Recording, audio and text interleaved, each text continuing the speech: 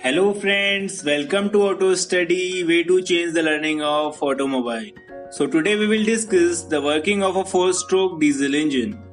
The 4-stroke diesel engine takes 4 strokes to complete one cycle of operation. The 4 strokes which are performed in a 4-stroke diesel engine are suction stroke, compression stroke, power stroke and the last one exhaust stroke. Now let's discuss them in brief.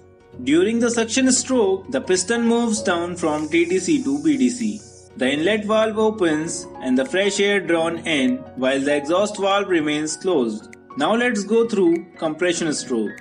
During the compression stroke, the inlet and exhaust valve remains closed. The piston moves upward to TDC and the air is compressed. The temperature of the air is increased when the piston reaches to TDC. Then after, the diesel fuel is injected into the compression chamber through the injector. Immediately after this, the diesel mixes with the hot air and then the diesel burns and the piston is pushed down.